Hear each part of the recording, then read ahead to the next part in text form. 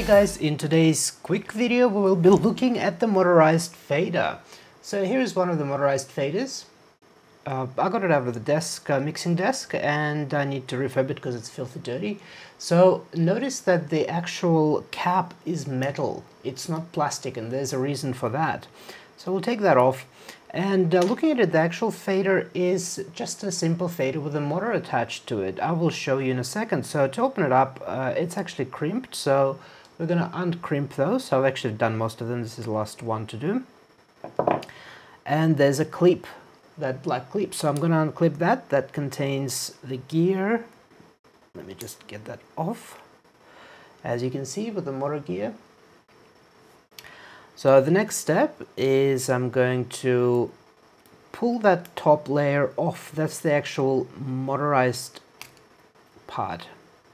So I'm going to go up and out.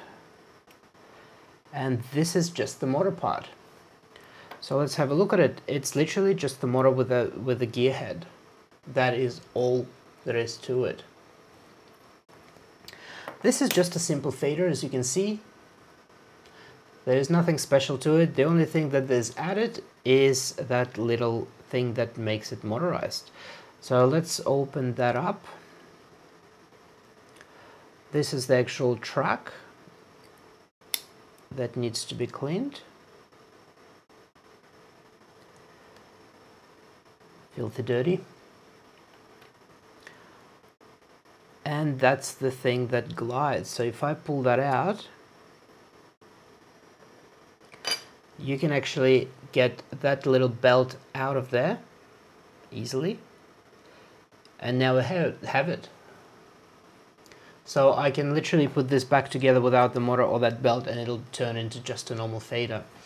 So let's have a look closer at the construction of this. On the fader, there is actually uh, four wires. You can clearly see there is two brushes common together right here and there's there's a single brush that is common to the top and that actually connects to the middle um, cap so that is there and then that brush touches to the middle track that goes to that gray wire uh, brown wire.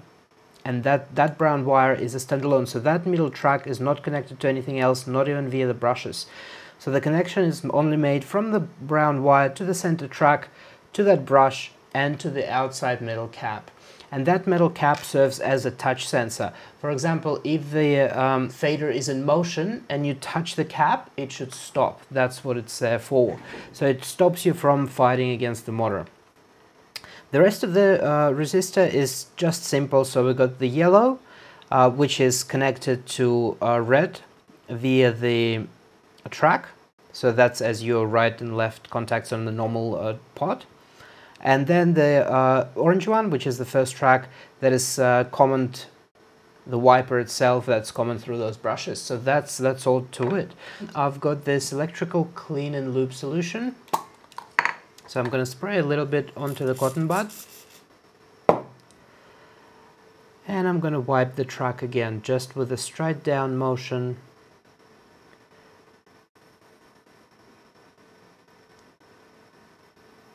There we go. You don't rub it for too long because you're going to be wiping off the carbon layer, which you don't want to do. So that's done.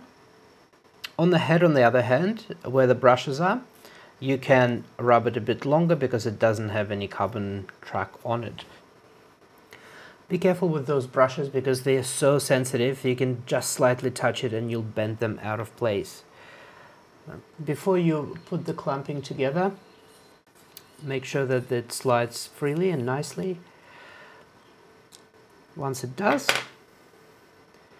then I usually take a flat screwdriver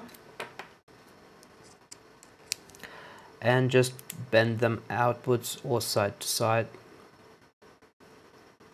So that's it, the fader is nice and smooth now. Probably work it a little bit. Now we're going to put the cap back on. And now what I also like to do is hook up a curve tracer and uh, just have a look on the curve tracer if the uh, trim pot is operational and um, there is no glitches. So let's do this right now. Okay, I'm about to hook up the curve tracer. And it's showing us the line, so it's at one end. And now we're slowly going to move the pot from one end to another.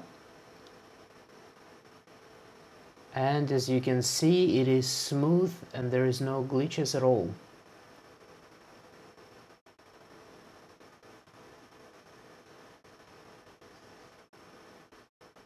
very smooth. So there is no problem with this trim pot, or with this um, fader. If I would have seen something like jaggering, like really rapid, that kind of been replicated here, but if it would be something like this, then that means there's a problem in the glitch. If during the cycle as we're fading it in and out, there would have been a twitching, that means there is a problem and it's a bad connection. But this pot is done. So that's how the um, motorized faders work. Thanks for watching this video, I hope you enjoyed it, and I'll see you guys next time. My name is Max, bye.